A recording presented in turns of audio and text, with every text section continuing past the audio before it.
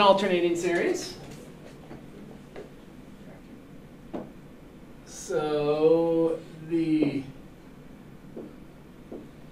summation of negative 1 to the n, I'm going to switch it to k just because we've been using k mostly. 1 plus k cubed over k to the fourth.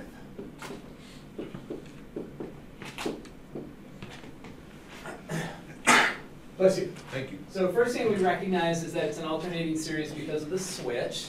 So we're going to use the alternating series test. And the alternating series test has two parts.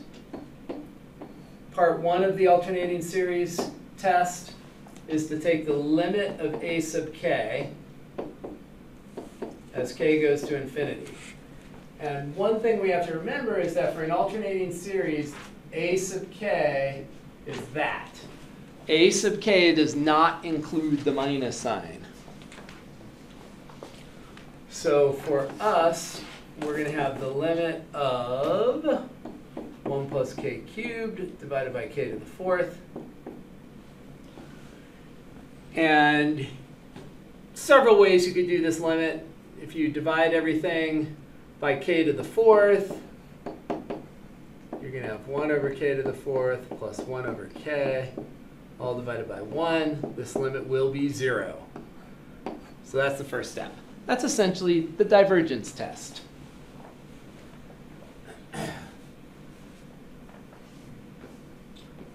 The second part of the alternating series test, we want to show that this function is decreasing, which we can do using an algebra technique. So we want to show that the terms are getting smaller as we go to the right.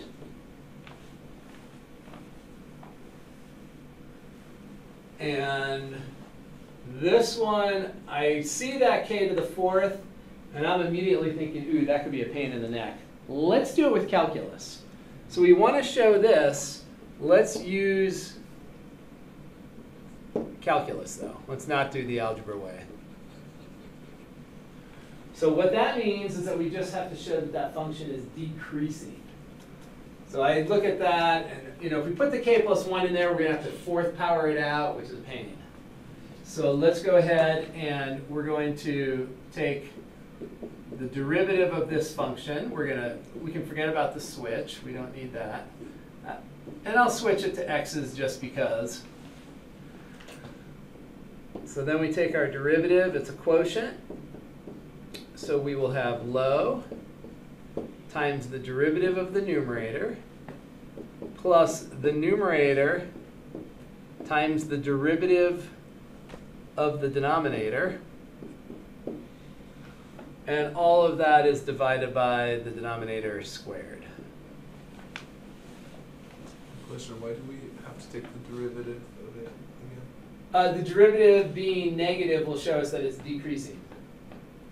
So we're trying to show that a sub k is decreasing, which we can do using this algebra technique where we plug in k plus 1 and then compare it to k, and then we cross multiply usually. But this has a k to the 4, so if we put a k plus 1 in there, we have to multiply that all out, which is a nightmare. Uh, low d high minus high d low. Thank you. Great question. Answer because I'm tired. so yeah, so you better be alert today. Okay, so that's going to be 3x to the 6 minus 4x cubed minus 4x to the 6. And that's all over x to the 8th.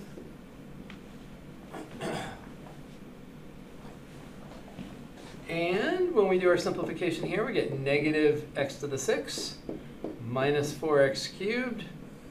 And this is x to the 8th in the denominator. And that is a negative number. If you wanted to factor out the negative in the numerator,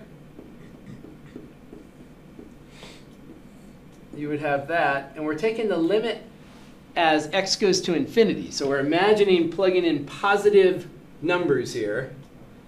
So this is less than 0, therefore uh, decreasing.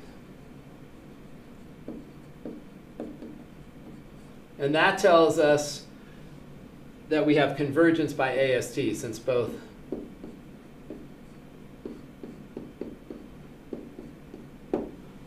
we've shown that both those properties are true. That the limit is zero and the terms are going to zero. The, the limit is zero that the terms are decreasing. All right, so now the next thing with an alternating series is to say, if it converges, does it converge absolutely or conditionally? So to answer that question, to, to classify the type of convergence, we need to consider the series where we get rid of the switch and we just have this. And the question is, does that series converge or diverge? And what do you think what you get? Diverges. What do you think, Anna? What's the power in the numerator? Power in denominator is four. So if we imagine taking away the insignificant part of the numerator, what would that reduce to? Perfect. So we'll do a comparison here. So we're going to say, okay, well, let's let b sub k be 1 over k. And that's leading us to the harmonic. So that diverges because it's harmonic. So then our suspicion is that a sub k, the a sub k series, also diverges. So we are going to want to show what relationship between a sub k and b sub k? Should a sub k be smaller or bigger than b sub k? A sub k should be smaller, Bigger? below, right? So b sub k diverges. So we would want to show that oh, a sub k is bigger. Bigger, yeah. right? Because bigger than diverging will diverge, smaller than converging will converge.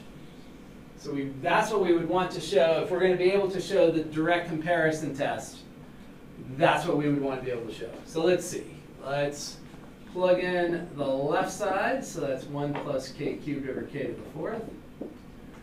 Question, is that bigger than 1 over k? Now intuitively, we know that it's going to work out because b to the k is really k to the 3 over k to the 4. So this numerator is going to be bigger than that numerator. A bigger numerator means a bigger value.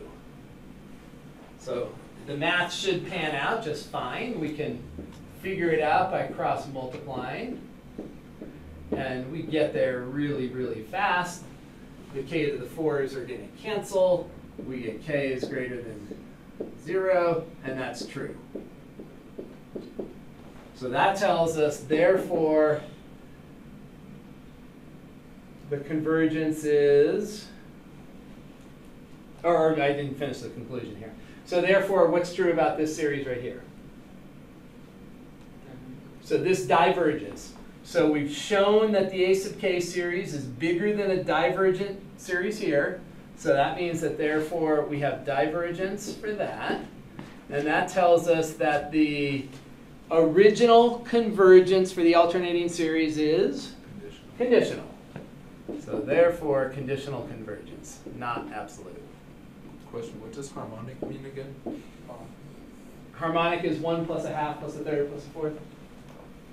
Oh, It's- Right, that's our, that's our uh, sort of fundamental diverging series.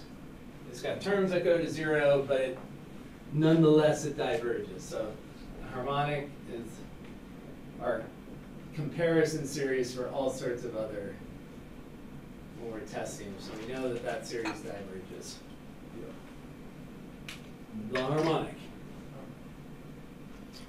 Does that make That's right, that's, yeah, I, I went, yeah, I tried to use, I used that step at the start, like what Mhm. you just did, and I said it diverged, and they said it converged, and I didn't read that it was conditional convergence, Yes. so I was like, oh, okay, that makes more sense. Yeah, so the series of absolute values diverges, but the series with the negatives converges. Okay. And then that series with the negatives, the alternating series converges conditionally because we need the negatives. Without the negatives, we get divergence.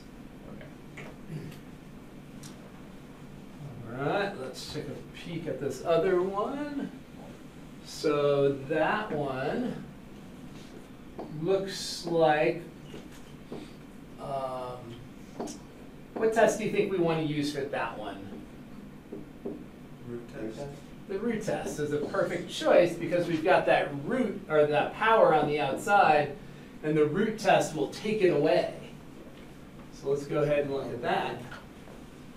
So we're gonna take the, so rho will be the limit of the kth root of all this.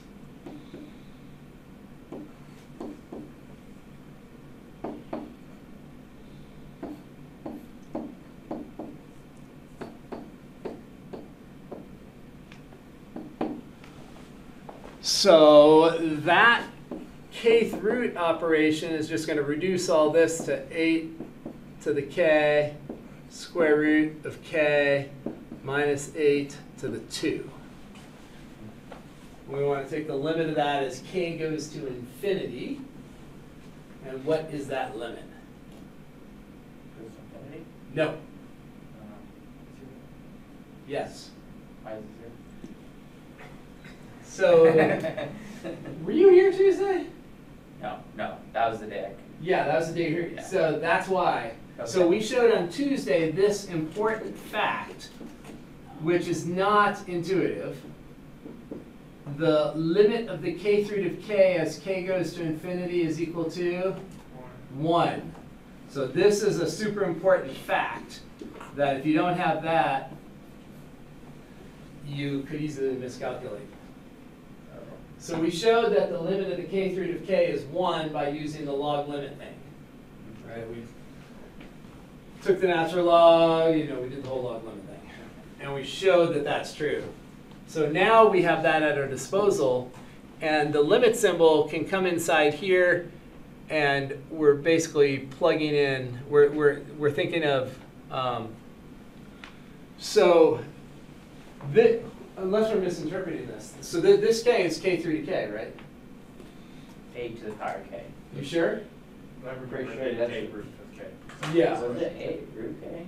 it's the k through to k, yeah. That's what I Oh, that's where I got messed up. Yeah, that, now, I, uh, when I just looked back at my writing there, I intuitively knew that they were talking about k three to K, but when you first told it to me, I think I wrote it as A to the K. Yeah, I was like.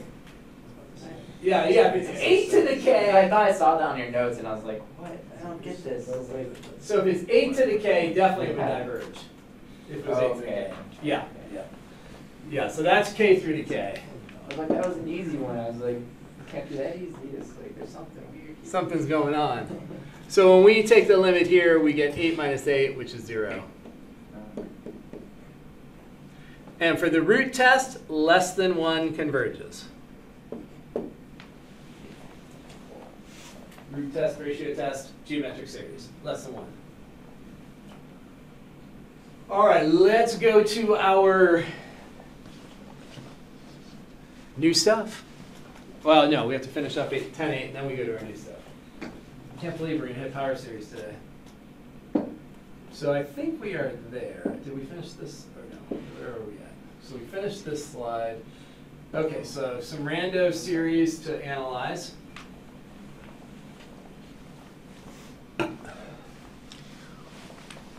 First off, what do we think intuitively? Converge or diverge? Does that sine function as a switch, like the, It will not function as a switch because there's no multiplier in there to force it to be negative one or positive one. So it's definitely creating, so just the sine part, there's gonna be some positives, some negatives in there. But what about if we add five to it? So this numerator is gonna just be a, a number somewhere between four and six. Right, so the numerator is just bouncing around between four and six, but the denominator is going to infinity. So the values are going to zero, but they're going to zero in a p-series way, right? in a p-series, in a divergent p-series way. If we look at that, what's true about this series? P is less than one, so it diverges. P is less than one, so it diverges. Correct. So our hunch is that probably diverges. So now the next thing is that can we get the direct comparison to work here? Hmm. Well, we would want to show that our series is bigger than the divergent series that we have right there. And will that work? Let's see. So 5 sync, 5 plus sync.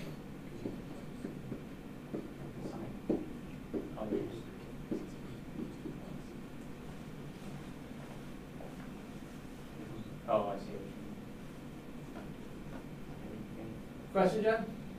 Would you use the limit comparison? You could use limit comparison. Assuming, uh, B sub k would be one over k, because the sine is like basically just constant from there. We, yes, absolutely. We can, uh, we can, you, we, the limit comparison test would work, we would use one over root k though. Yeah. So yes, limit comparison test will also work totally fine. If we just move the root k over, that becomes one, and five plus six is always greater than one. That's right. So th- well, these, these guys just cancel, correct? And so then we subtract and we have sine of k, is that bigger than negative four? Yeah, sine of k is ranging between negative one and one. So this is true. So this will show us um, that we have diverge and diverge. So we have diverge then. Because we've shown bigger than, bigger than diverging is diverging. Everybody got that? One of those days, one of those weeks. Bigger than diverging is diverging. Does that make sense to everybody?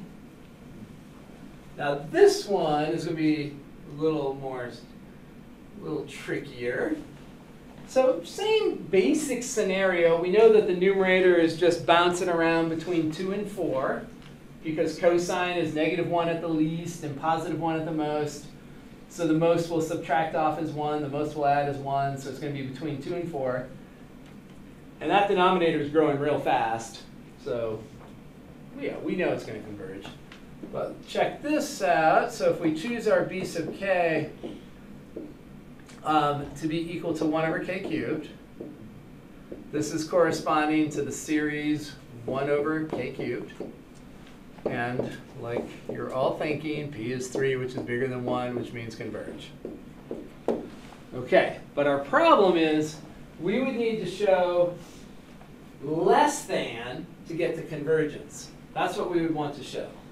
So we would want to show that a sub k is less than b sub k.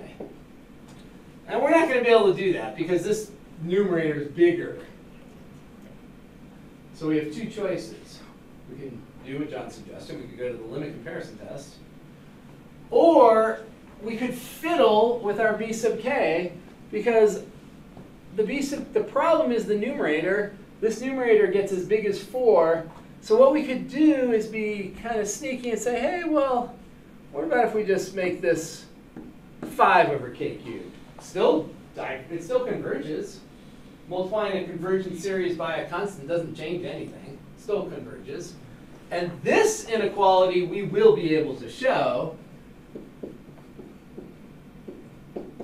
It's going to play out just like the last one. We're going to have the k cubes are just going to cancel. So those k cubes cancel. We subtract 3 from both sides.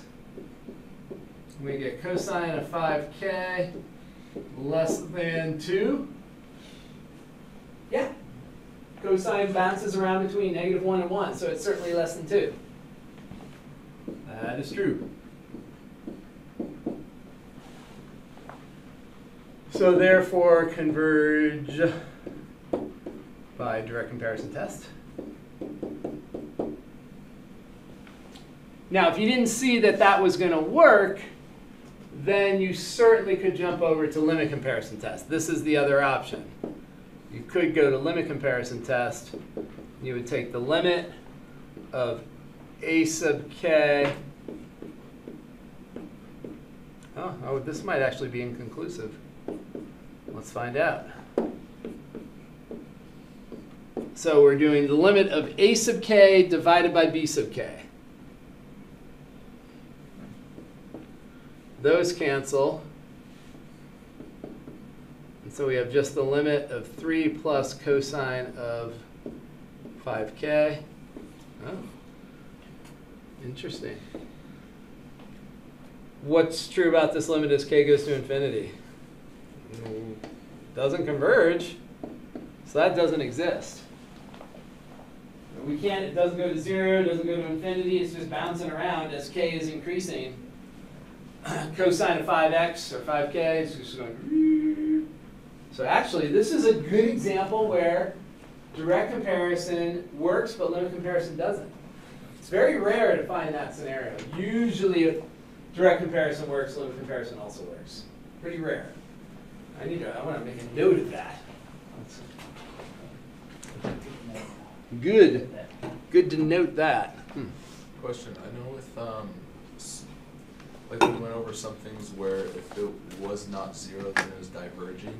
But then there's other questions where if it's, If what was not zero? like the, the answer, then, like if it, If the limit was not zero? um, not necessarily the limit, I, I think it was when we were going, like it was earlier. I, I remember going through the homework and it said because, um, it is not zero, it is diverging. Oh, yeah, yeah. That's the, the, um, what do we call that test, folks? Divergence test? So if it's like one or two or anything like that, then it's diverging, and it has to be zero. Yep. But if it's any other kind of test, then as long as it's not going to infinity, then it's not divergent. Mm, well, for geometric series ratio and retest, if the limit is two, it diverges. As long as that limit's bigger than one, you get divergence. If you get infinity for uh, ratio, it also diverges. Somebody just asked me for an example just the other day of a DCT that works with an LCT that doesn't.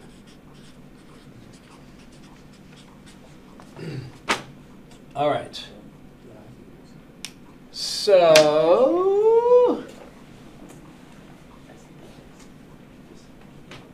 all right. So let's take a look at this one. What about a test there? When you look at that, is there a test that we might want to try for that? Root test seems really good because you've got that power of k on the outside. So let's see if that actually plays out like we suspect it to play out. So rho will be the kth, whoops, the limit of the kth root. Limit kth root of all of this mess.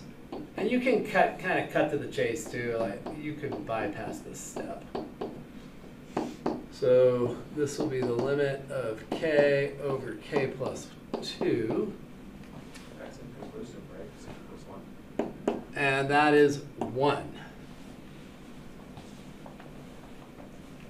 Inconclusive.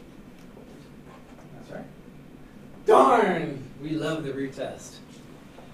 So sad, inconclusive.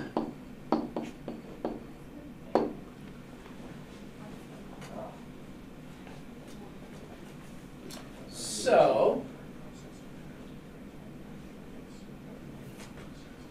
let me ask you this. What does the limit of 1 plus a over k to the bk, what does that limit equal? E to the ab. So that's our basic kind of exponential limit. And doesn't this a sub k look a little? Let- Let's check the divergence test here. Right, the divergence test. That looks a little bit that way. Well, here's a clever little trick. We could certainly do the log limit thing like we did a bunch of.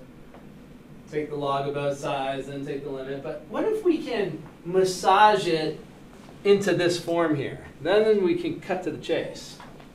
Well, do you agree with this? That this is the limit of, I'm, I'm just gonna flip these. And put a minus sign up in the exponent position. You agree with that? Alright, minus sign, we'll just toggle it, flip it over. And what about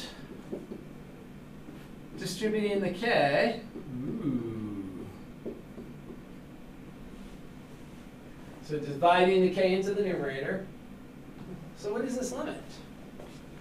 One over e to the two. So this is gonna be e to the negative two, which is one over e squared. And what's our conclusion then? So that limit is not zero, therefore must diverge.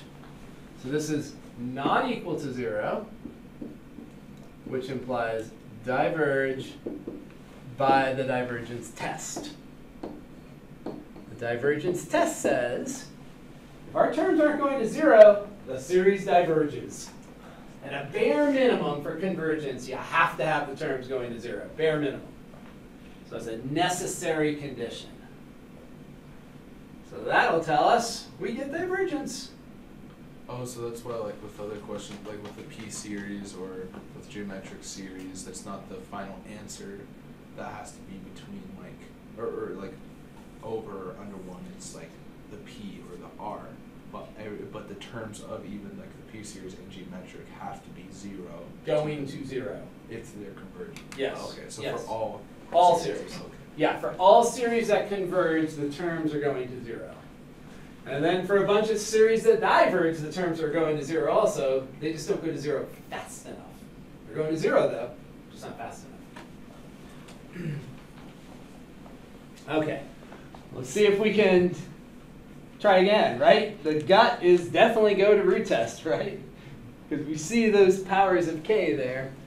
So let's try it again. We are not no fear. We're not dissuaded. Um, and let's just take the kth root before we even, let's just do it right away. So we have that.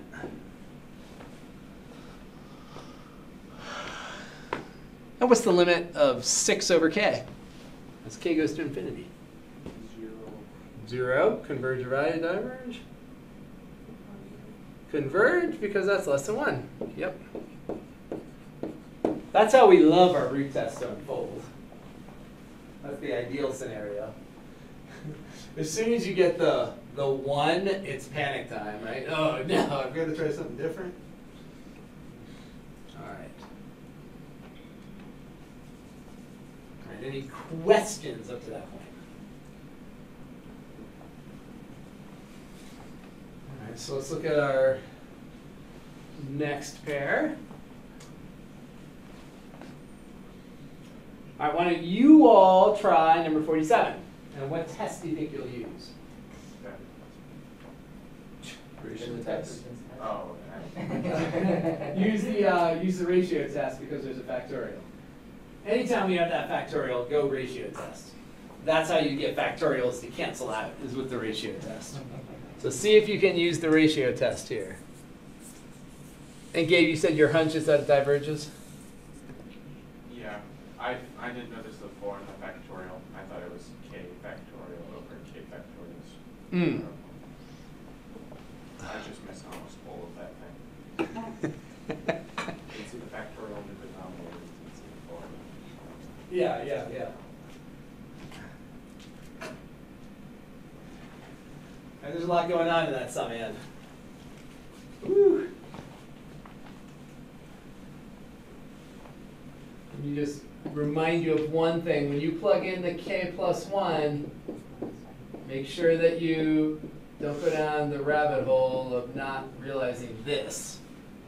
When you plug in that k plus one, that four is inside the factorial, so that has to be distributed.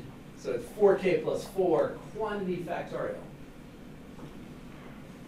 See if you can get the cancellation to do what do what it needs to do.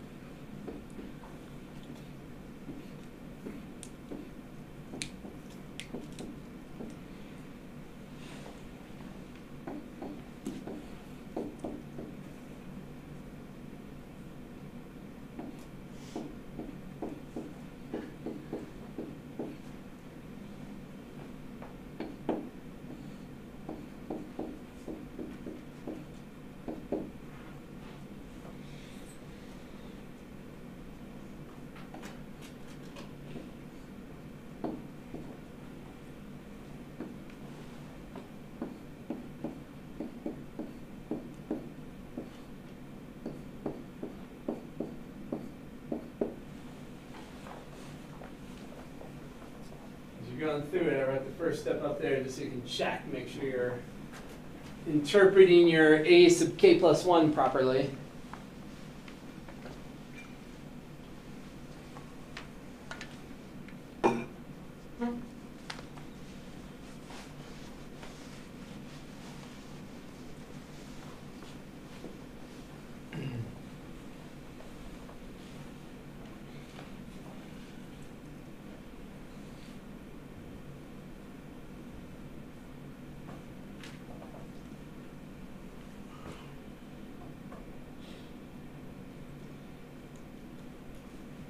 Any questions on how you would deal with 4k plus 4 factorial? Um, questions on the bottom one, okay, On the bottom one? to the fourth I Okay. So let's go look at the bottom then. We'll, so that 4k plus 4, we just have to do this repeated multiplication until we get to a convenient stopping position so that we can get some cancellation. So we're going to end up with, that's where we would stop. So we're going to do repeated subtraction of 1 until we can get, get some pairing with this term in the denominator over here. So let me just rewrite this numerator. And we'll have that. Okay, so the k 1 to the 4, factorial to the 4. So that's going to be broken apart like this. We're going to say that's k plus 1 times k factorial on the in, k factorial on the inside, and that whole quantity is raised to the fourth. So we take the k plus 1 out, we're left with k factorial, and then what's going to happen is that, well, let's do it in the next step. So first off, let's cancel these two factors. And then in the numerator, we still have these four factors.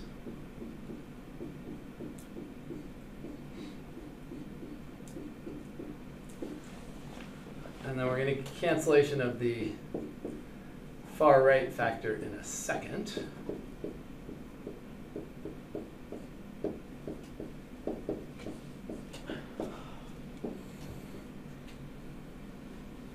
So here we have k plus 1 to the fourth times k factorial to the fourth when we distribute that exponent.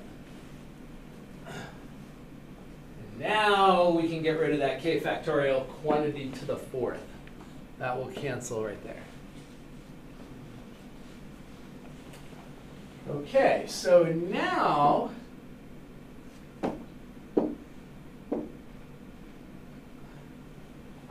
the numerator is a polynomial, the denominator is a polynomial, And we know that the limit at infinity of a polynomial only depends on the first term. So all we have to do is figure out the first term for each of these polynomials. We do not have to FOIL it all the way out. We know that the first term in the numerator polynomial is that times that times that times that. That's the highest power for that numerator polynomial. So we know that we can write it as 256k to the 4. The highest power in the denominator is k to the 4. So if you have a quotient of polynomials and you're taking a at infinity, the only terms that matter are the two big terms. All the other terms go to 0. And what is that limit? 256? And what is our conclusion for the root, or whatever test we used? We used the ratio test. What's our conclusion? So this is bigger than 1, which means diverge. So bigger than 1, diverge for both root, ratio, and geometric. So that, We do k plus one, so the one I had problems with was the uh, k factorial to the fourth power. Mhm. So you just do k plus one times k Yep, factorial? yep. On anything like that? Yep, anytime we see, so if we have a k plus 1 factorial, we can always do this repeated subtraction of one thing and put in the factorial wherever we want. So we oh. could, we could even go k plus 1 times k times k minus 1 factorial. We could do that. Oh, okay. So we can drop the factorial in wherever we need it to go. So if we have six factorial, that's equal to five, oops. Six factorial, we could write it as six times five factorial. Or we could write it as six times five times four factorial. We just drop it in wherever we need it, wherever it's convenient so that we get some cancellation. Okay. Question, in the denominator, how are we able to just split the k plus one, uh, times k factorial up? In, from here to here? Yeah, So this is multiplication, and our multiplication properties say that if we have a product raised to a power, that power distributes to each of them. so if, is that just if they're functions, what if they're like regular integers? Still true. Okay, so if you like have two times six inside of like parentheses squared, Yep. uh, or two times three, or I guess that works too. Yep, then that would be this, which is four times thirty-six, which is one forty-four. Or if you did mul- did that multiplication first, you would also get one forty-four. Uh, okay. Yep. Cool. So you can distribute your power, distribute your exponent if you have products, not across the sum of difference. Okay. But across a product, you can distribute it. Does that go for quotients too? Mm-hmm. Yep, yep. So yeah, so we get divergence, which which is uh, not totally intuitive. I mean, if you multiply a factorial by four, is a lot less than raising z factorial by four. But this this number is going to be so much bigger. Like if you think about five factorial versus twenty factorial, this is going to be way more than that. Like if you think about so that if we plug in a five, so five factorial in the denominator raised to the fourth power versus twenty factorial. So the numerator would be 20 factorial. So this 5 factorial is going to be 5 times 4 times 3 times 2 times 1, 4 times. But if you just look at these terms over here, you've got the 5 factorial that's going to cancel at the end.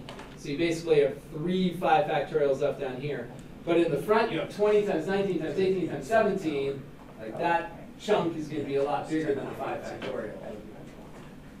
Definitely not in. It's definitely not intuitive, because you might say to yourself, "Oh, this is acting like you know, like a, a like a higher power polynomial, and this is just still another factorial.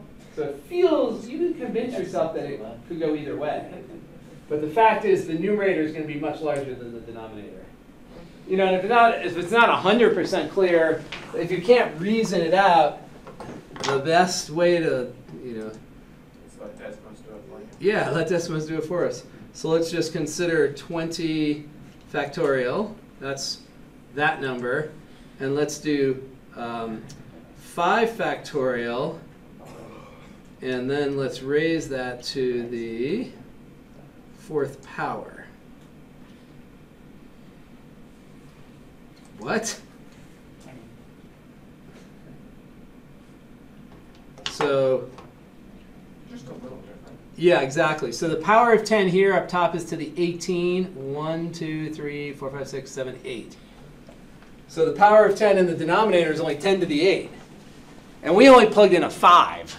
If we plugged in a 10 or a 20, this numerator is noticeably larger, even though it might not be obvious just, you know, playing around with it a little bit. Desmos is a good way to convince yourself. All right, let's do this one. So the sine function, there's a couple of facts that are really important. I'm going to graph it in Desmos just because that'll be more precise than me trying to point out what I'm going to try to point out. So let's take a look at uh, x and sine x. And then I'm going to zoom in.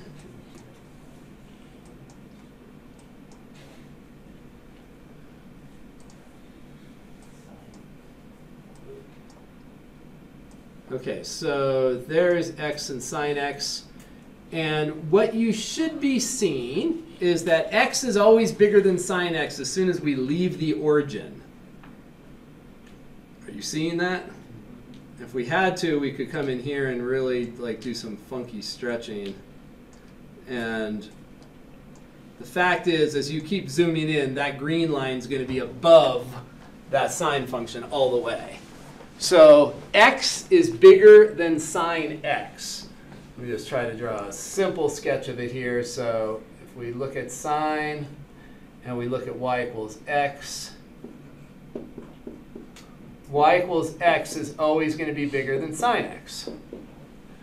So that's a xy way to think of it. Here's a trig way to think of it. Let's draw a unit circle and let's take a look at this angle theta right there. This is a unit circle, so the hypotenuse is 1. And what is the length of this vertical leg right there in a unit circle?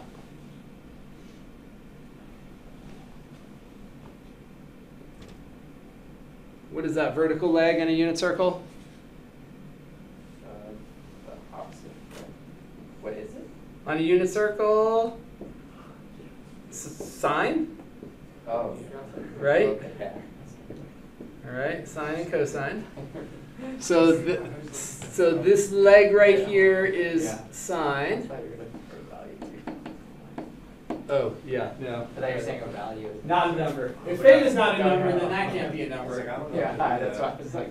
Yeah. uh, Okay, you agree with that, that that vertical distance is sine of theta. That's what it means. It's the y coordinate of the point on the unit circle. Does it, now, does anybody know what the length of this arc is right there? So there's our point on the unit circle. Anyone know what the length of that arc is? It's not gonna be a number, it's gonna be a letter. What letter represents that number? Exactly, which letter? I don't know. What, so, what, what is the formula if you have a sector of a circle? You have theta, you have r, you have s. What's the equation that represents these three variables? Yeah, s equals r theta. Now, if you're on a unit circle, what's true? R. Yeah, s equals theta if r is 1. So on a unit circle, the angle is theta radians, the arc is theta whatever, units of length, inches, feet, meters, centimeters, millimeters. And this gives us another visual for, since we're talking about theta instead of x, we see that theta is bigger than sine theta. Right? This curved reg- this curved piece of the circle, that's theta. This vertical piece is sine theta. That curved piece is bigger. So this gives us another visual for why theta is bigger than sine theta, or x is bigger than sine x, however you want to phrase it. It Doesn't matter if you use a, an x or a theta or a k. All right, so just have that in the background. We know that that's true. So I claim that we should use b sub k 1 over k. This corresponds to a diverging harmonic. That diverges because it's the harmonic. And Why one over k, not some- something like one over k, uh, that's actually what I meant to do. Thank you. That is exactly what I meant. To, I meant to just get rid of the sine. Yeah, thank you. I know, where'd the nine go? That's significant. That's significant. So here we have p equals nine, which is bigger than one, so we actually have converge. Converge. So let's see what happens then. So sine, so if we want to show this is converging, we would want to show smaller than a known converging. So we would want to show that 1 over k to the 9 is less than 1 over k to the 9. And I guess actually the way we usually do it is I usually put the generic one up here just to be safe.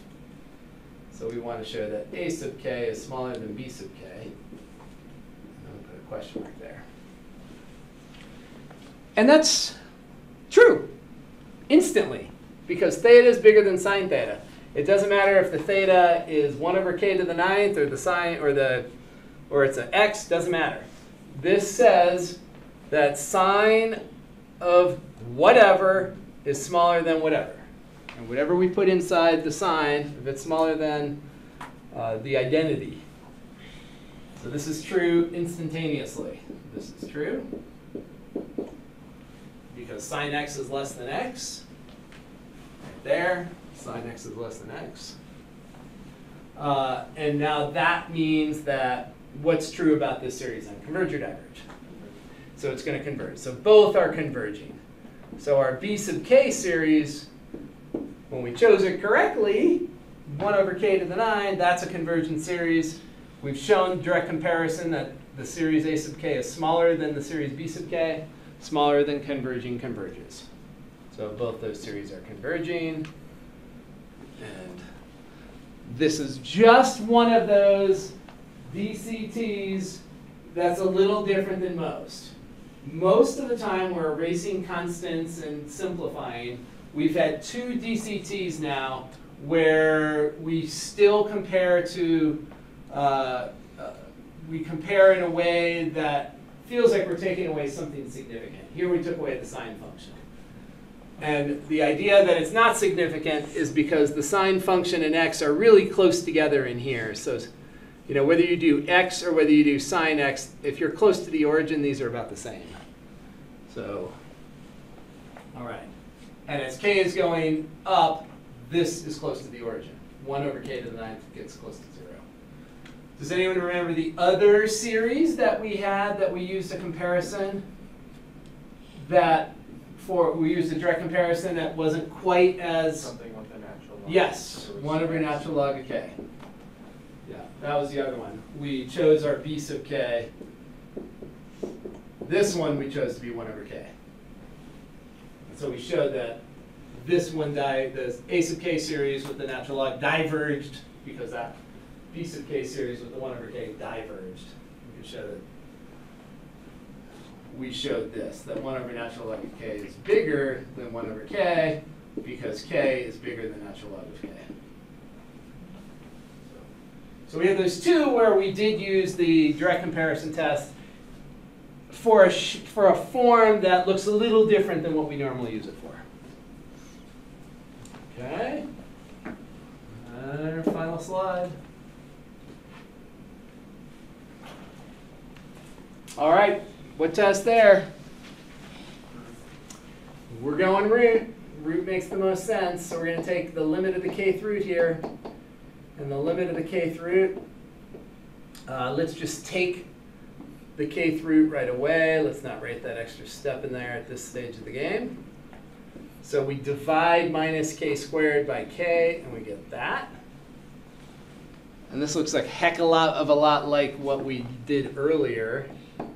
We said, oh, well, can we be creative? And the answer is yes, we can.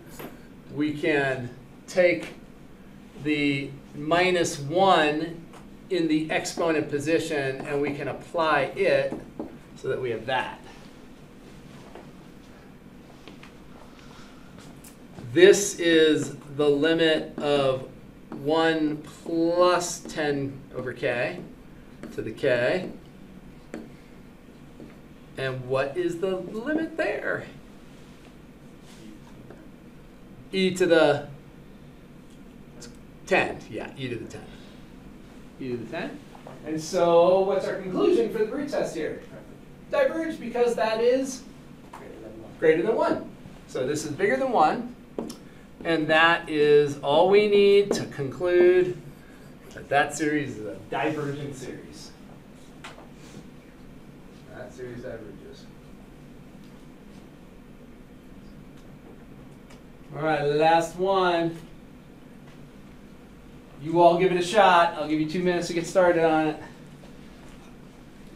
Let me point one thing out.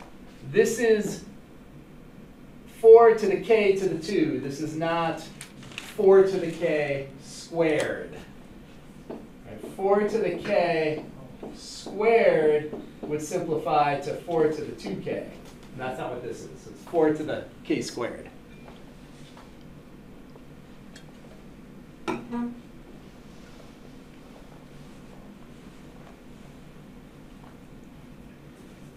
Power tower-ish.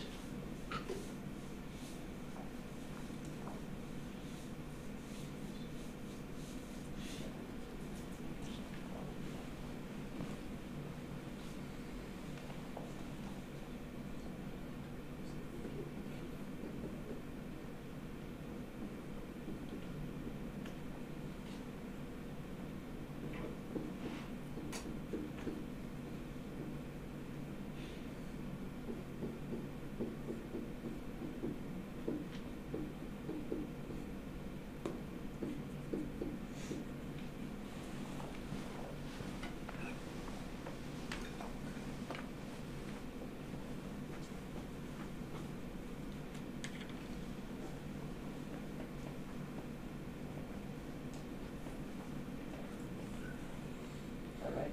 I didn't write them. Yep, that's right. Okay. Yep, that is right. So far, so good. Putting all those plus ones in there.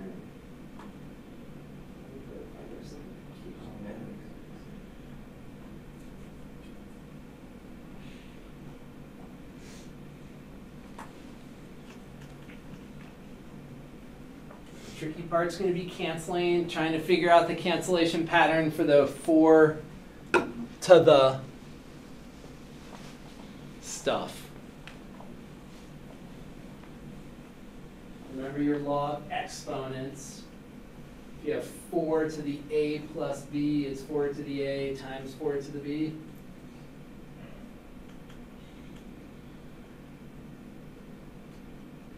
So that k plus 1 squared up in the exponent position, you want to FOIL that out. That's going to be our gateway to canceling that those powers of four. Or simplifying, I guess. They're not going to cancel totally that. But we can simplify them.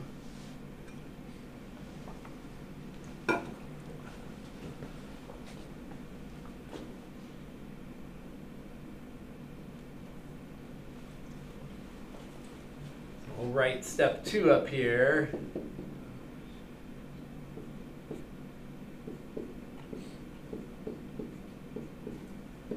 And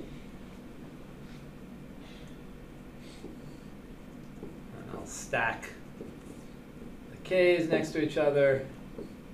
I think you're probably okay with the k factorial cancellation.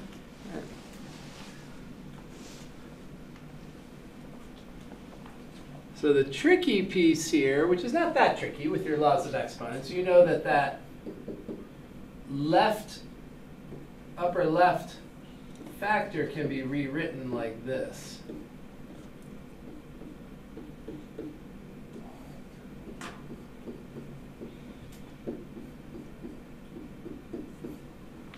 We've got that.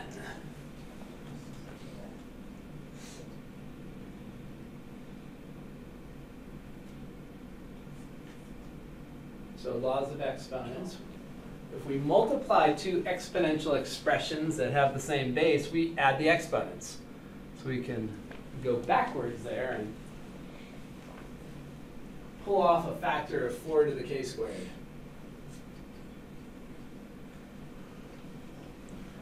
And then those will in fact cancel. Now we'll get those canceling. And what do you think the limit of this is? Infinity, because the numerator is an exponential and the denominator is a polynomial. Let's do it all the way out though, just to make sure. We'll use L'Hopital's rule. So right now, this is infinity over infinity. So that's L'Hopital's rule. We'll take the derivative of top and bottom. All right, the derivative of the denominator is 1. How about the derivative of the numerator? What's the derivative of 4 to the 2k plus 1? So. So it's itself. two Times two. times the log. Itself, itself times the derivative of the exponent times the natural log of the base. So it's all those things, yeah. That is the derivative of an exponential. Itself times the derivative of the exponent times the natural log of the base. That one is meaningless downstairs, so what's this limit? Infinity. All right. So this was the ratio test. What is our conclusion for the ratio test in this case? Divergent. Greater than 1, which implies diverge. So for the root and the ratio test, if you get an infinite limit, that or that is greater, that's considered greater than 1. So you don't have to have a positive real in this case. So we had those two cases, the integral test and the limit comparison test where we had to get a positive real. Here, infinity, don't need a positive real as long as it's bigger than 1, then we're good. All right, let's take our 10 minute break and then we'll dive into some power series. So the moment we've all been waiting for. When one infinite series of numbers just doesn't feel like it's enough, let's go to an infinite number of infinite series of numbers. Okay. So we're going to start by talking about a power series. And so a power series is a non-ending polynomial. So in other words, we're thinking of a power series as a series of powers of x. So that's what this is representing. It's just a series of powers of x. So some folks call it an unending polynomial, some call it an infinite polynomial. Regardless, it is an unending polynomial. It goes on forever and ever. So there are two ways that we usually designate the so-called center. Up here in the top one, we would say that this center is zero, so we just don't put any parentheses with no subtraction in there. So this one has a center of zero. And this one has a center of A. Center's A. So it's just like a normal shifting thing that you saw in college algebra. When you did the parabolas, the A times x minus h squared plus k, same kind of thing. This is just a shift by A units. All right, so now this first couple of slides, this first slide in particular, we're just trying to get the bigger picture before we get into the nitty gritty on, well, where do these power series come from? What are they for? So again, power series, polynomial that goes on forever. And I've got a couple examples here before we start from scratch. So this is this is the power series for e to the x. So for e to the x, the power series is 1 plus x plus x squared over 2 factorial, etc. And then here's our sigma notation for it. And then we're going to notice this interval to the right. So that interval to the right tells us the interval of convergence. And so here's what I mean that there's an infinite number of numerical series. If you plug in any x value here, you get a numerical series, which is what we did in chapter 10. That's what we've been doing. Series of numbers, numerical series.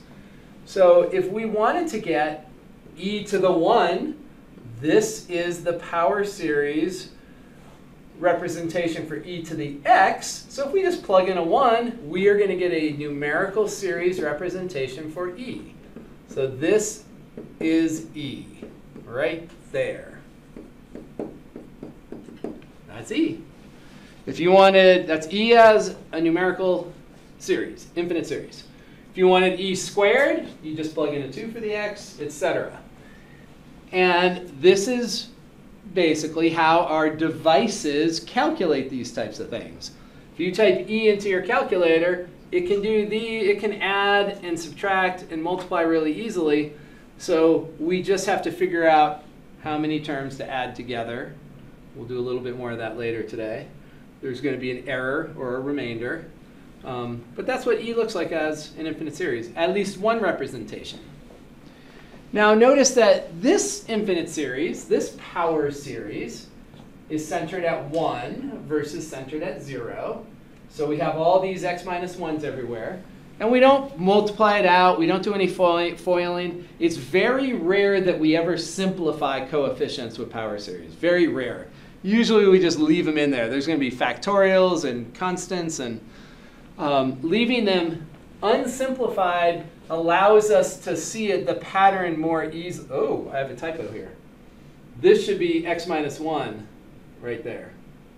That should be x minus 1, uh, not just x. So usually when you don't simplify everything, you can come up with this general form or the pattern is just more easily discernible. So typically we're not going to cancel things.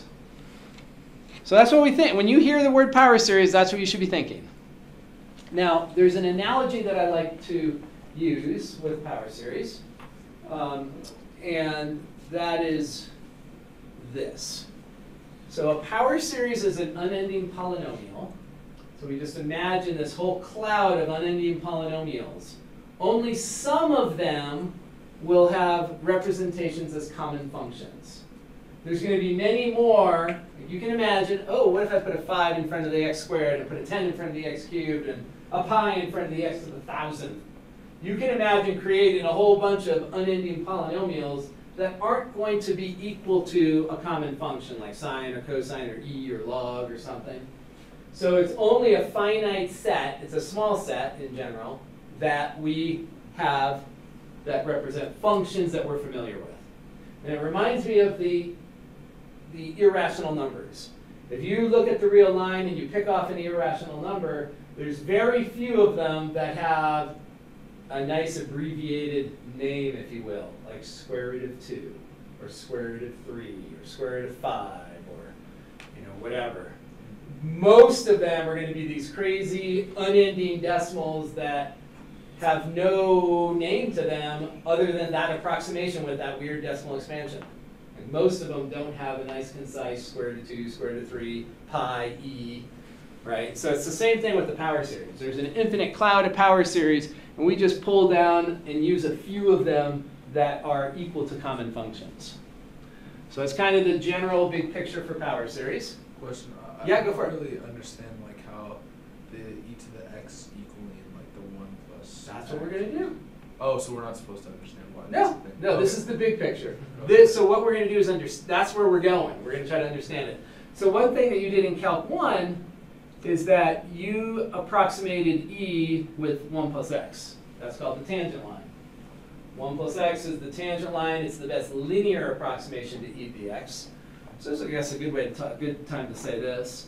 So when we go out one more term, one plus x plus x squared over two factorial, that's gonna be the best quadratic approximation for e dx.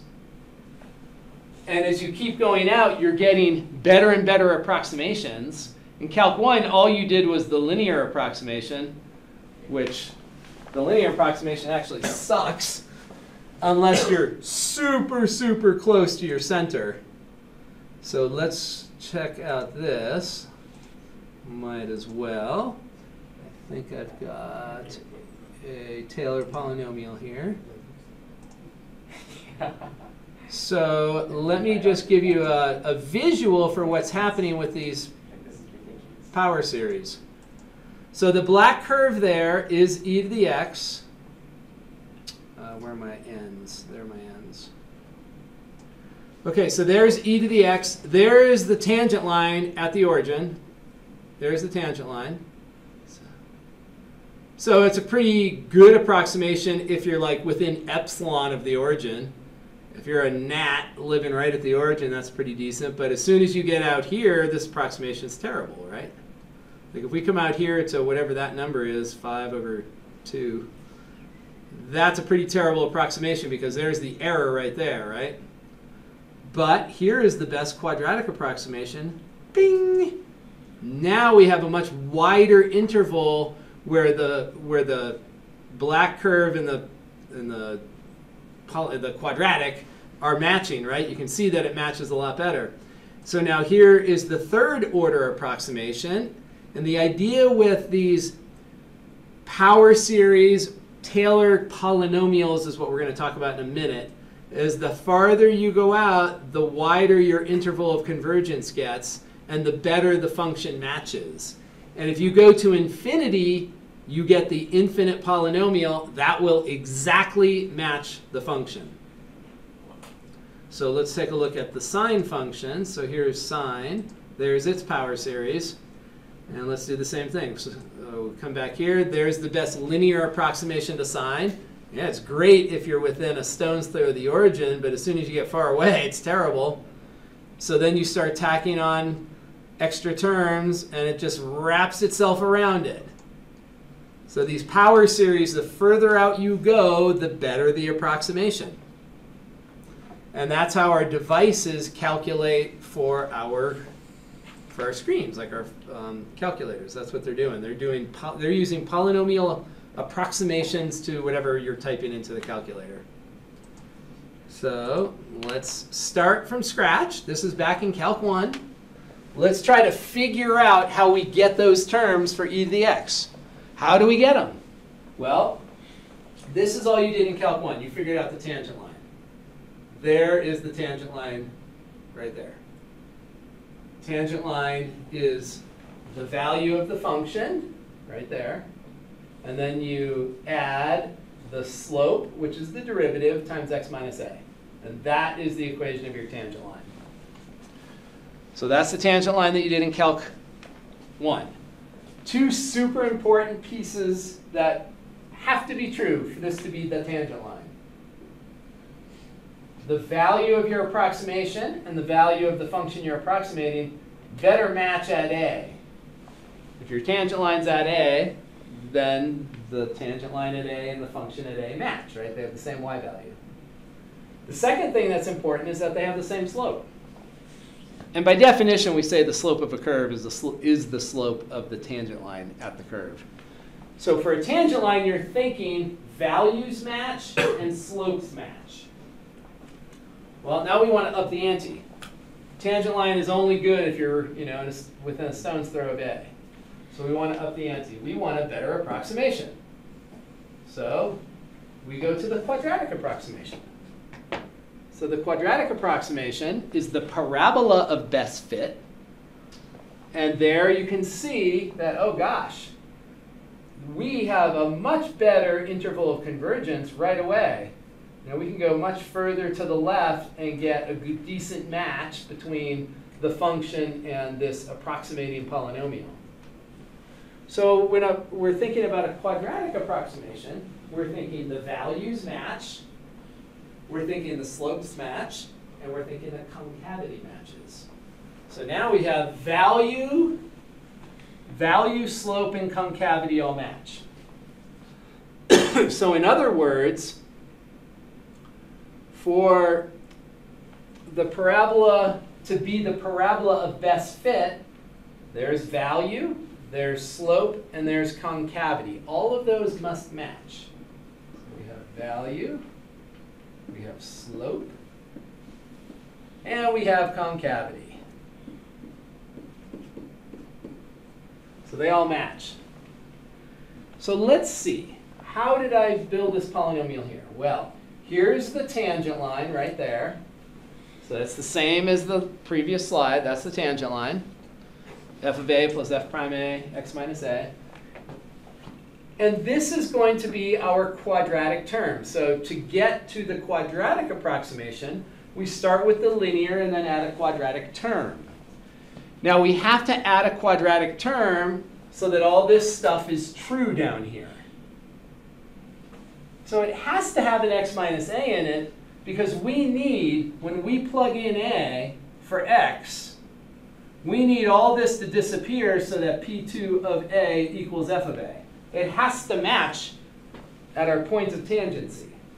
So it, the quadratic term has to have an x minus a in there so that we can get rid of it if we plug in a. All right, and then it's got to be to the 2 because it's quadratic. And then we have this mystery thing right here.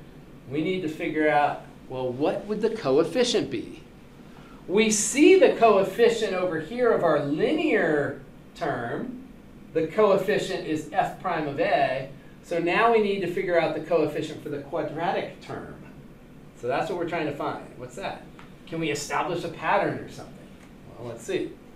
So let's see if we can do the following. Okay. So here is the polynomial that we say is going to be the polynomial of best fit, second order polynomial of best fit, best parabola, best quadratic approximation, a million ways to say it. Let's see if our three properties hold. So, or let's see what it takes to make them hold. So we want value, slope, and concavity to all match. So first thing I'm going to do is highlight constants. F of a is a constant. x is the variable, a is a constant. f prime of a is a constant. Right? That's the slope. a, of course, is a constant. And then a is a constant and c2 is a constant. So let's see. When we take the first derivative of this expression, derivative of a constant is 0, so that goes away.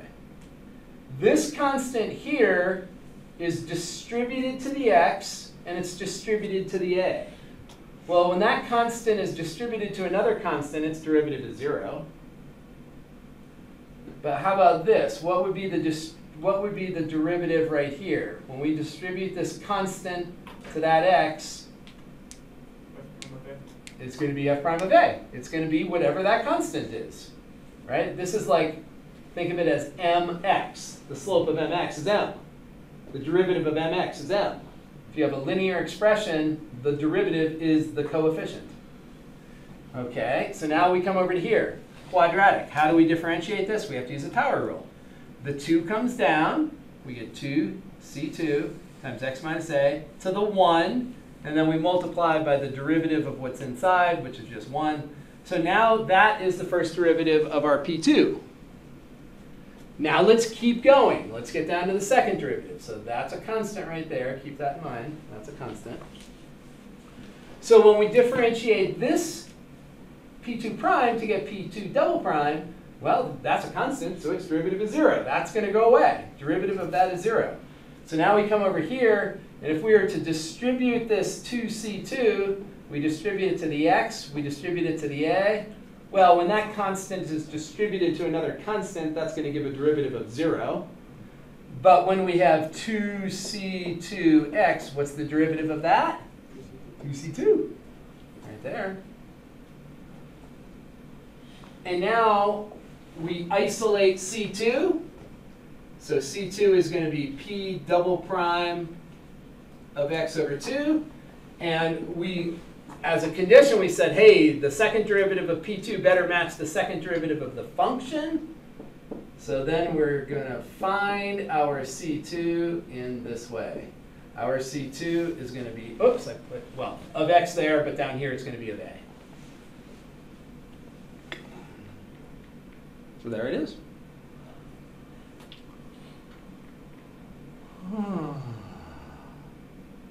That's it. So that's how we get the best quadratic approximation. And then we can do a similar argument to get the best cubic approximation. We're basically going to add another term that's going to have an x minus a cubed in it. And so we'll have a C3 in front of this. Then we have to find that. And what we really are hoping is that there's a nice distinct pattern that's going to build all these coefficients so that we're not constantly doing things that are not related. Hopefully we can come up with a nice clean pattern, which of course there is. This is math, not pottery. So let's do it. So let's find linear approximation, quadratic approximation, and then we're going to approximate the given quantity. So we've got a function, 1 over x. And now, obviously, these first few examples, you can just type into your calculator 1 over 1.05. You don't need an approximation for this. You could just do it. But the first few that you don't need approximations for, we do so that we can get into the habit of what's happening. So super easy examples. So here's what I recommend. Put your function and the derivatives over here on the left and go vertically. Because we're going to need what we've seen, and I'll write that as x to the negative 1. What we've seen is that to get to the second order approximation, we need the second derivative of the function. Okay, so we have to go all the way down to two derivatives. So we're going to do that. So that's going to be minus x to the minus 2. That's going to be 2x to the minus 3. So those are our derivatives. And let me write the polynomial over here in general just to remind you what we need. So the second order polynomial is going to be first, it's going to be f of a plus f prime of a times x minus a. And then it's f double prime of a divided by 2 times x minus a squared. So that's what we're building.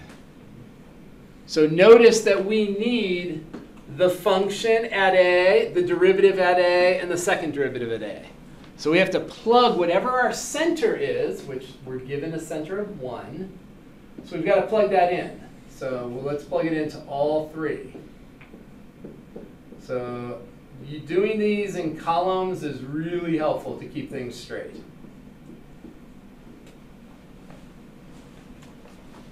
Especially when we are finding like a fifth order approximation. All right, so now let's build it. So p sub 1 starts with f of a plus f prime of a, which is negative 1, times x minus a, a is 1. So this is the best linear approximation, aka the tangent line. So there's the tangent line. Now our quadratic approximation, and you can multiply this out if you want. In general, we don't really do that with these. Maybe in the simplest of cases we could do it, but as soon as we get beyond the first couple examples, we're not going to multiply things out. So let's just not multiply it out here. Um, so p sub 2 is going to be identically p sub 1. And then we just have to add our quadratic term. So there's our quadratic term. We take the second derivative of the function, evaluate it at a, we get 2. We then have to divide by 2, and then we have x minus the center, again, that's 1, squared. So that is our second order approximation right there. The only simplification that we would do here is that we cancel that and turn that into a 1. So that's our second order polynomial. How, how'd you get, um, I, I have to go back a Yeah. little bit, um, f double prime of a Yep. divided by two, where, how'd you divide by two? That's what we got right How's that? here. So our- we had to figure out, so here's the polynomial in Yeah. general. We said, what's c sub 2? We did the first and second derivative, and we got, we solved for c2, and it's going to be p2 double prime over 2. And we, and we said that we want to have p double prime match f double prime, so we have this. And then we want to evaluate it at a to get the coefficient. A, okay. Because what we, so when we take our derivatives here, when we get down to our second derivative, we're getting all the way down to this. So we want the second derivative at A to match P double prime at A. And so for that to happen, we replace the C2 with F double prime of A over 2. Okay. So that's going to be, that's the coefficient right there. It's this expression evaluated at A will give us that coefficient. So it's kind of like, you know, th- this first derivative at A, uh, that's what allows us to get P prime of A to be equal to F prime of A. Because right here, if we replace this x with an A, that goes away and we'll get P prime equals F prime. Oh, okay. So same idea down here. We're going to want to replace, when we replace this with f double prime of a over 2, we take two derivatives, then we're going to get it to match. Now, we're not going to do that in general for the third and the fourth. We're going to see a pattern and then just jump to the pattern. so now it says approximate. So let's approximate. Let's use black. Okay, so P1 of 1.05. So P1 of x, x is the denominator, so we're plugging in a 1.05. That's going to equal 1 minus, and let's see, we do 1.05 minus 1, so that's 0.05. So this is our first order approximation. Our second order approximation, p sub 2 of 1.05. This down a little. We plug it in to this one, we're going to get 1 minus, plug it in 1.05, so 1 minus 0.05 plus, plug it in here, and we get again 0.05, but we square it. And then let's go plug it in and get our approximation.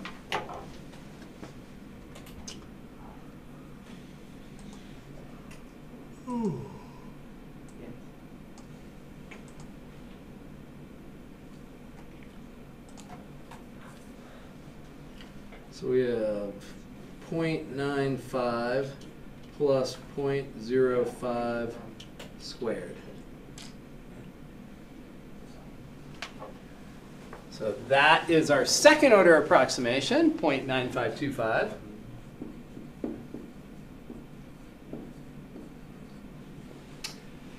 And let's notice how close they are. So again, this is a simple example because we can just actually type this in. We don't, you know, we know what the value of this function is. So that is the actual value of the function.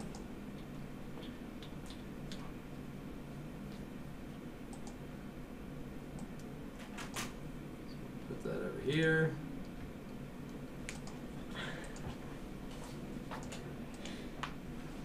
Okay, so when we look at the first order approximation, it matches to two decimal places. The third order approximation is out to three decimal places. And the higher the order we go, the more and more it's going to wrap around this number and get closer and closer to the exact value. Uh, didn't ask for error here, though. No. Okay. All right, so now let's try another one, unless you have a question on any of those steps. All right, we'll build one more together and then you all can try one on your own. So I'm going to start out with the function here. The function is the root of x. And we want to approximate the square root of three point nine, so they're choosing a center of four. So we're gonna, and we want a third, a second order polynomial, so we have to go down to the second derivative. So I'm just gonna go down to two derivatives here in the left column.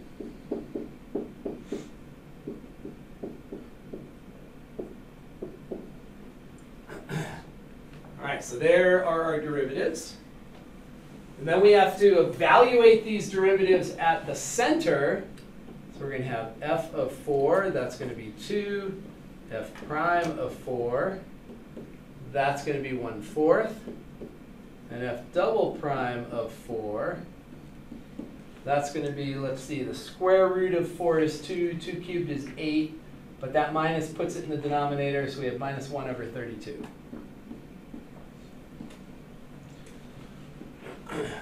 So that is the information we need to now construct the polynomial. So that these Taylor polynomials are constructed. Let me uh, grab this again just as we have it as a model, just so you're copy. I guess I have to do that and then that and then paste. Okay, so let's build it. So our first order polynomial is just the first two terms. So if this is P1, why don't we just build P2 and we can isolate P1 as necessary? Because it's all, it's all, there's this redundancy that happens. So we start with f of a, that's right there. So 2 plus f prime of a multiplied by x minus the center. So there's our tangent line. That's our linear approximation. To turn it into a quadratic approximation, we keep going. We take the second derivative of 4 and divide by 2. So that's going to be negative 1 over 64 times x minus 4 squared. So there is p sub 2. And p sub 1 is built in. It's right here. There's p sub 1.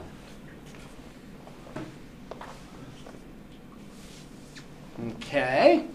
So then let's go ahead and do our approximations. We want the approximation of 3.9. So I'll put, I'll call out the first order polynomial, the tangent line. That's going to be 2 plus 1 fourth times, plugging in 3.9 there, we get negative 1 tenth.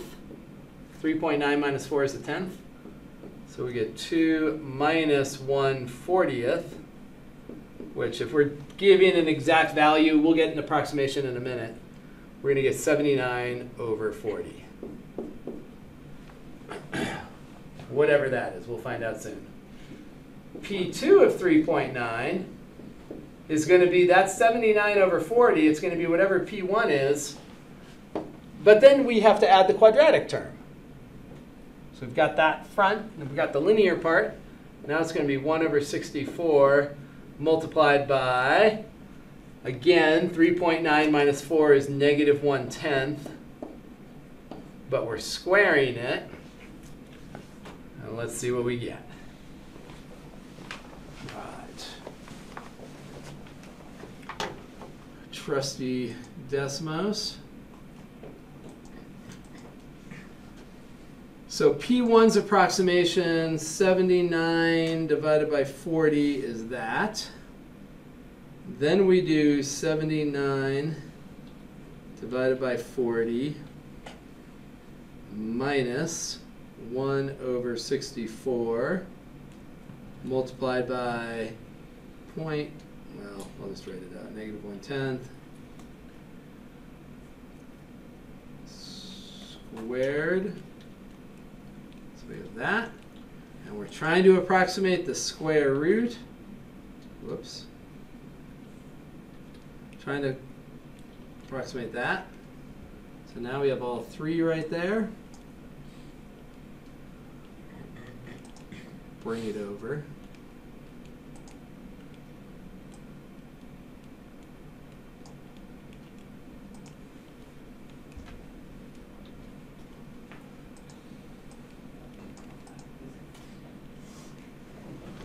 Right, so once again, we see that here's our target number right there. And the first order approximation, the tangent line got us out to two decimals, and this gets us all the way out to five decimals. With just a second order approximation, we're out to five decimal places. So if we, you can imagine how fast these approximations get pretty darn good. So building Taylor polynomials will get us there pretty quickly.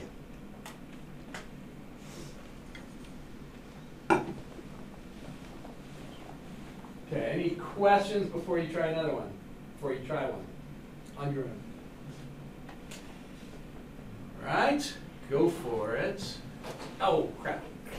Not yet. I should have had you do that one. That's all right. You'll do plenty of them in a minute. Okay, so the pattern we've seen, so what we did thus far is that we went out to the second order right there. That's where we went. And we saw that it was f double prime of a over 2. Now we're not going to go through finding c sub 3, but when you go through the same thing that we did for c sub 2 to get to c sub 3, you will show that c sub 3 is going to turn into certainly the third derivative of f at a. And we were thinking, well, maybe the derivative, the third derivative will have a 3 in the denominator, but it turns out it has a 6 in the denominator. And if you go out to the fourth coefficient, it turns out that the fourth derivative at a has a 4 times 3 times 2 in the denominator. And so we see that, oh, it's not just the power in the denominator, it's actually the power factorial in the denominator. So our coefficients in general, we will divide by whatever that derivative value is, divided by that factorial. So this is the general process to find approximations, which we refer to as Taylor polynomials.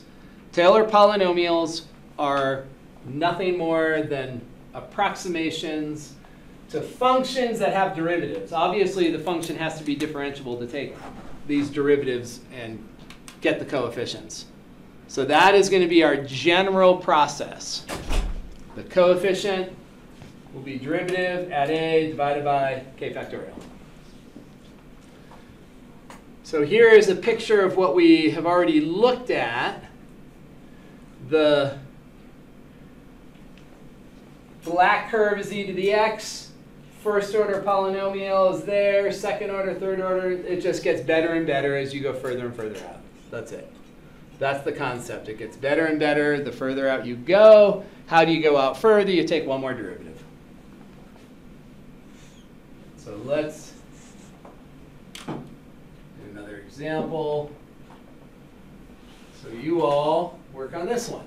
So this one they want us to go out to 5. So don't bother writing P1, P2, P3, P4, P5. Just write P5. We know that P1 is the first part, P2 is the next part, etc.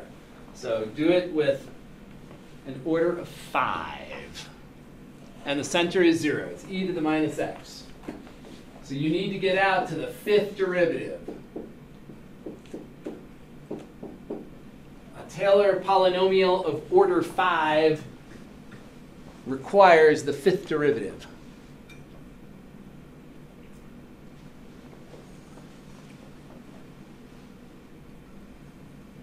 So what did you say? We'll be skip? Like what steps are we skipping? Uh, don't bother writing each of these individually because P1 is just the first part of P sub 2. So if you have to get to P sub 5, just write out P sub 5 and then you can kind of isolate and say, here's P sub 1, here's P sub 2, here's P sub 3, here's P sub 4. But they're all subsets of the, it's like a Russian shell thing, Okay. Russian dolls. Gotcha.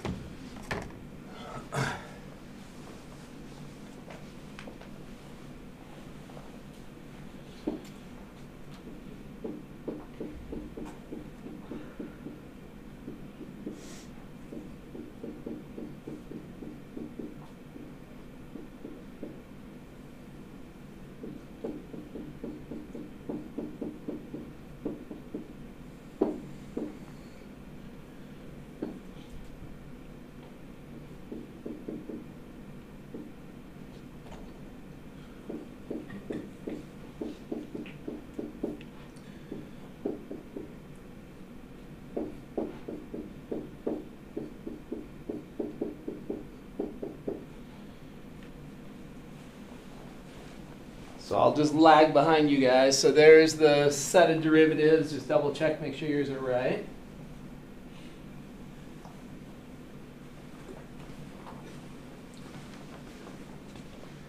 And then you have to evaluate all those derivatives at the center. Center is zero here.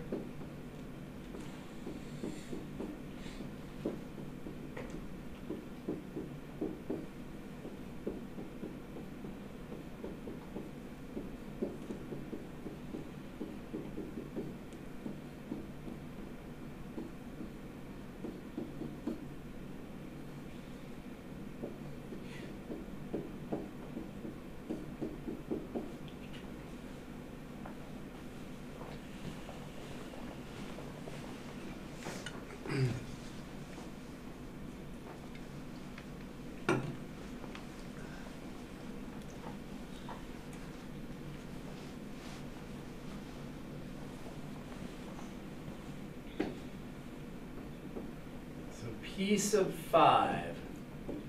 So that's the fifth order approximation. We're gonna start with this initial constant right there. So we go one, and then minus, and then it's gonna be x minus zero to the one. That's gonna be plus a 1 over 2 factorial times x squared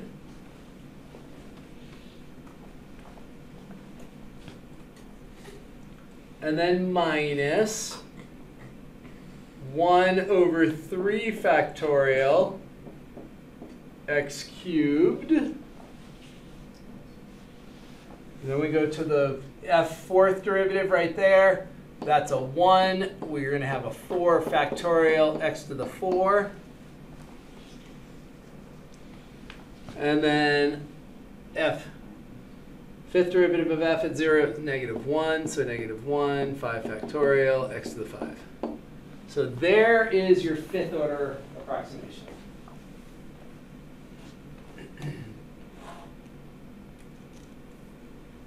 Question, why are we not using the e to the x's, to the negative x's in there? The polynomial is built by evaluating the derivatives at the center. So when we evaluate our derivatives, we're getting constants. So what are we plugging those constants into? What formula is that again? The Oh, um, that one.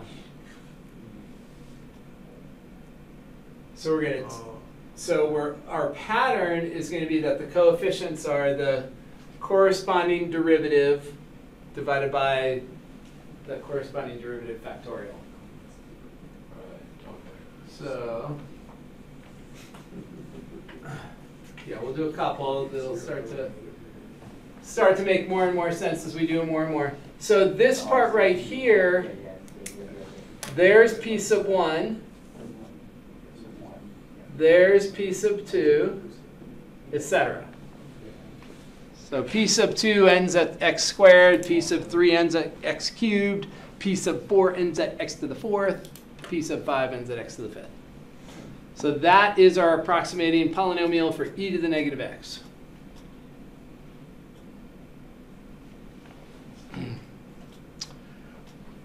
All right, go ahead and start this one. Same thing, let's find p sub 5. This p sub 5, and let's center it at pi over 6. And there's the function we're starting with, cosine.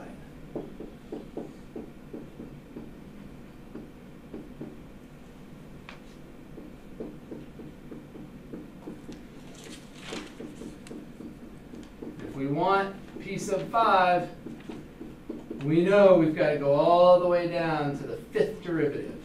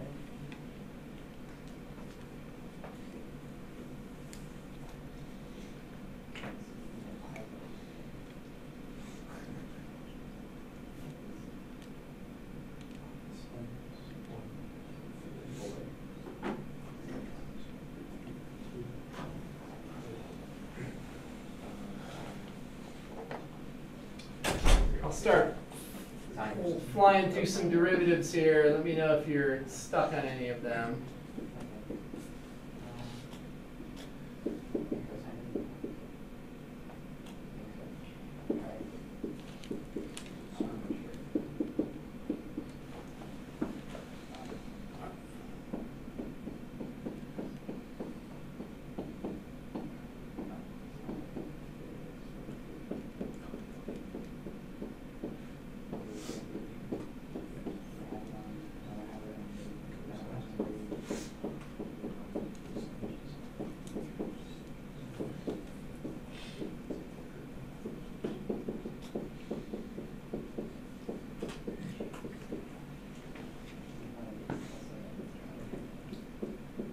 Anybody have questions on any of these derivative values? These all make sense?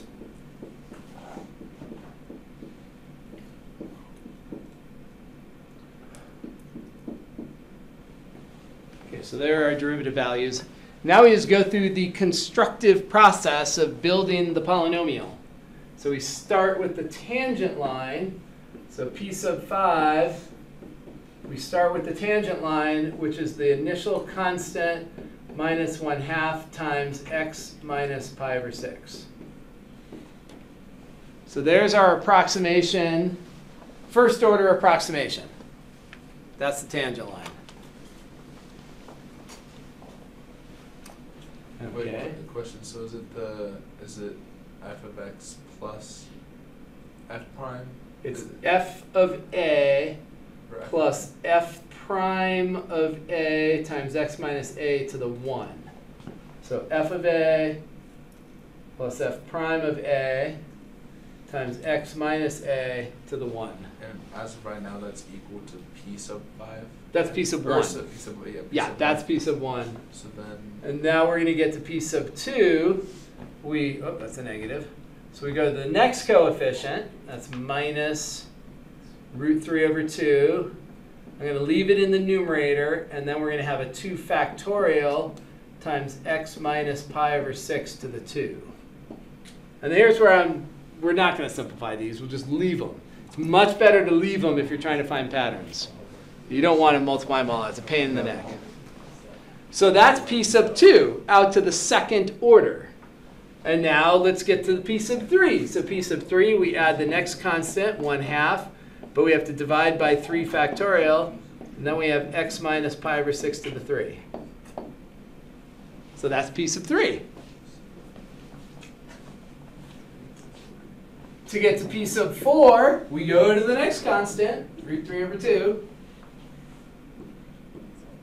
What do we have to divide root 3 over 2 by for the fourth term? four factorial? 4 factorial for the fourth order term.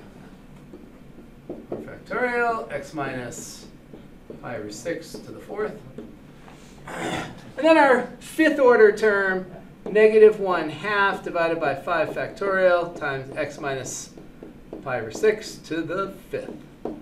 There we have it. That is the fifth order polynomial, which is just this bootstrapping way of getting from one term to the next.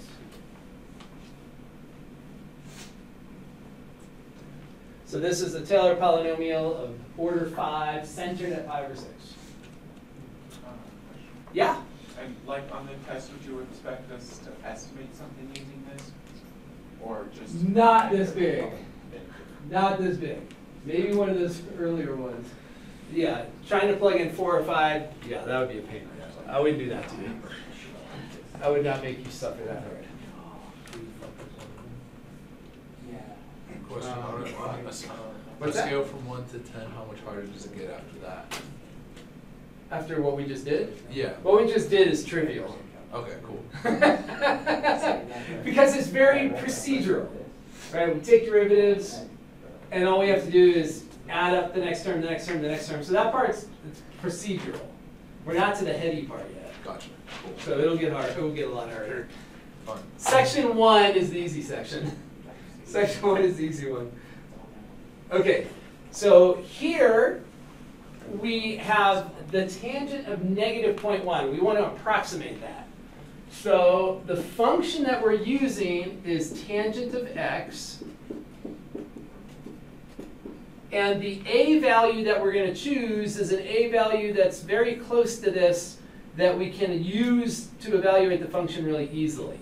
That a value will be zero because we know tan of zero is zero. So that's a good approximation center point. okay, so it says order three. So if we have an order three, we have to go all the way out to the third derivative. So there's f, then f prime is secant squared. And then f double prime. That's going to be 2 secant to the 1, using the power rule, that first part. Bring down the 2, subtract 1, and now we have to multiply by the derivative of the base. The derivative of the base is secant tangent, so that's going to add another factor of secant and then put a tangent there. now we want a third order, so we have to go one more derivative. Yep, product rule. So the first function, 2 secant squared, that's the first function. The derivative of the second function, the second function's tangent. Its derivative is secant squared.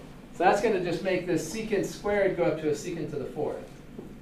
So that is first derivative second plus the derivative of the first times the second. The derivative of the first is 4 secant to the 1 times the derivative of secant, which is secant tangent, and then multiplied by the second adds a second secant in there. So that's our third derivative. And then we evaluate them each at our center of 0. F of 0 is 0. Hmm. f prime of 0 is 1. Secant of 0. Cosine of 0 is 1. Secant is the reciprocal, so secant is 1 also.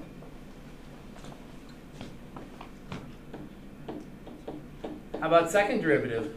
Zero. Yeah, 0 again. And third derivative? Close. Two. So the secant value will be one, and then one times two is two. This part will be zero over there. So now we're ready to build P sub three. So P sub three. We start with our initial constant, zero. Don't need to put it. Or maybe you want to put it as a placeholder. Maybe that'll help. And then plus, next constant, 1 times x to the 1 divided by 1 factorial. The next constant, oh, again, it's 0. So 0 x squared over 2 factorial if we want to just sort of put it as a pattern. And then our next constant, 2x cubed over 3 factorial. So that is our p sub 3. And of course, both these terms, you don't have to write them in there. Those are both gone. So there is our polynomial. If it's a really short polynomial, if you want to simplify it, there's certain cases where maybe MyMathLab might ask you to simplify it. I don't think it forces you to, but. So that would be our simplified polynomial. Could, you really quickly just like rewrite that, but like fill in every single like zero and one and, and whatnot? I, there's the zero. I thought I did. Well, right? like, well, like zero plus one, One. times x minus zero inside parentheses, just to kind of like visualize it. So this, so here are the coefficients. Let's put them in different color. So there's 0, 1, 0, 2. So those are the coefficients right there. Oh, okay. You see it? Yeah. So the so we sort of jump through one at a time. So that coefficient, and then next coefficient, next coefficient, next coefficient, And then we look up here at the power, or the, the order of the derivative. So for the third order derivative, we have to have a 3 and a 3 factorial. For second order, we have to have a 2 and a 2 factorial. For first order, we have to have a 1 and a 1 factorial. Oh, right, because it's always like x minus a to that power of the. Yep, Okay. exactly, exactly. okay, so now in this one it says find the absolute error. Okay, so let's do that. What does that mean? Okay, so we're approximating at negative 0.1, so let's get our polynomial at negative 0.1. So p sub 3 of negative 0.1, that's going to be negative 0.1 plus 1 third times negative 0.1 cubed. So let's go to Desmos and get our approximation here. So we're going to have negative 0.1 plus 1 third times negative 0.1 cubed. And what were we doing tangent of negative 0.1? So tangent of negative 0.1, so there's the exact value. Okay, so there's the approximation, there's the exact value, and they wanted the error. So the absolute error is the difference between the true value and the approximation. So all we're going to do is take these things and subtract them.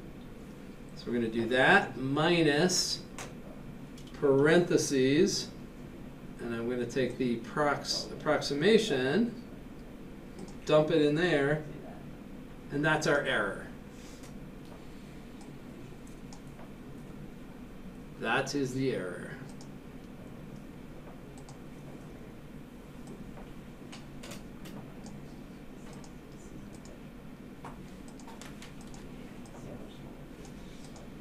So like on the exam, will it just be like give the error to the, like, I don't know, eighth decimal point? Yeah, exactly. I would say where to stop.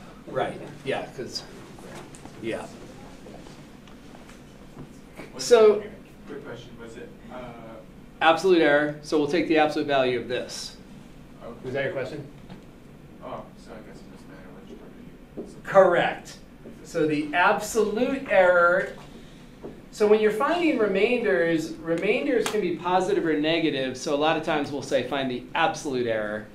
So if we say the absolute error is 0.2, then that means we could be above by 0.2 or below by 0.2. And so our absolute error is going to be the uh, absolute value of that, so 0.000. Oh my gosh, one, two, three, four, five zeros.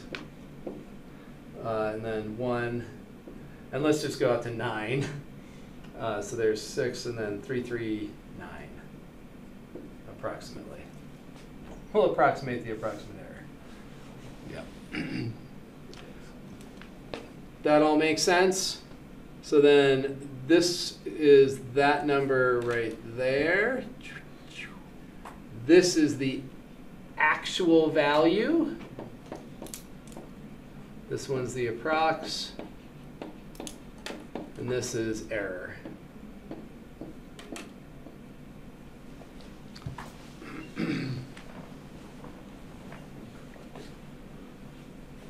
Let's see if we can squeeze in one more with the natural log function. So for this natural log function, we're going to start with f of x equals log x. What do you think we're going to use for an a, if we want to approximate that? Is there a, an x value that we know the log of that's real close to 105? Yeah, we're going to let a equal 1. Because we know natural log of 1 is 0. We don't know many other natural log values.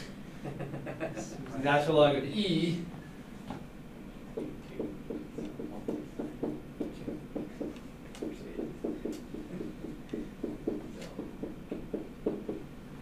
Okay, so um, I forget. Did it say third order? What were we doing? Yeah, third order. Okay, so we have to get down to three derivatives.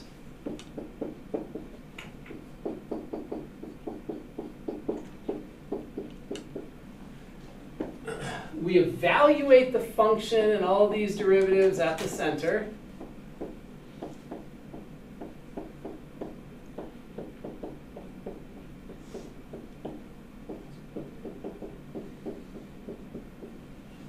So those are the values of the derivative.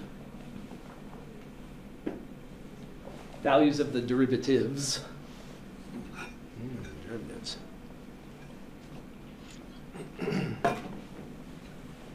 So the polynomial p sub 3 of x will be, starts with the 0. 0 plus 1 times what?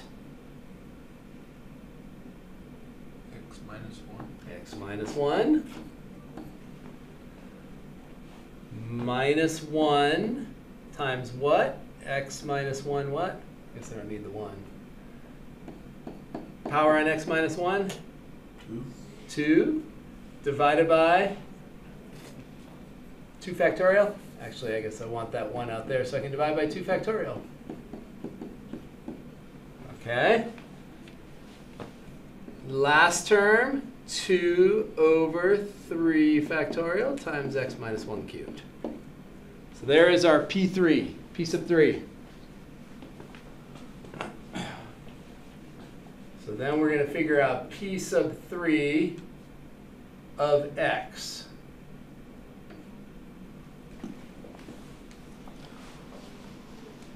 So we want natural log of x, so we're going to plug in a 1.05.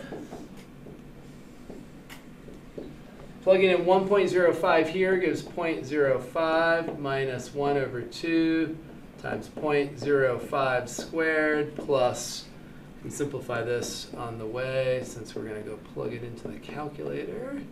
So there's our approximation. Run over to Desmos. So approximation is 0.05 minus 1 half times 0.05 squared plus a third times 0.05 raised to the third Ew. Raised to the third. And we're doing natural log of, is it 1.05? Yes. So there we have the approximation, the actual value, and then the error. We're just going to take the actual value. Oops, didn't like that. Control copy, control paste, minus parentheses. We'll put this inside the parentheses. Oh, yeah. I, I was trying to get into that. 'cause that, that would make that. I don't do that.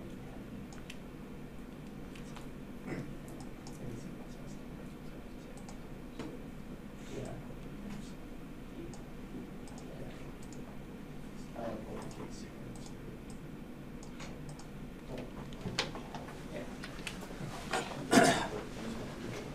So here we have it again. So same kind of setup. This is the approximation. Here is our actual. And then here is our error. And then if we take the absolute value to get the absolute error, we just do that. to get the absolute error.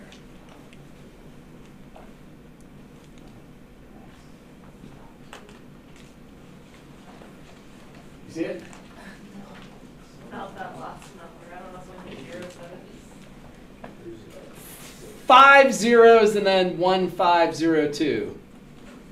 Five zeros. All right, let's see. So, what's page eight? Oh yeah. All right, we'll talk about the last slide on um, on Tuesday. The last slide has to do with some remainder conversation. We'll finish that up on Tuesday, and we'll jump into eleven two and eleven three. Please read those over the weekend, because we start going like this. So definitely read ahead. Read ahead, read ahead. We are not quite in the home stretch, but you should treat this like the home stretch. Be studying a ton. Be studying a ton. Let's get this, let's get through this, man. Let's get through this.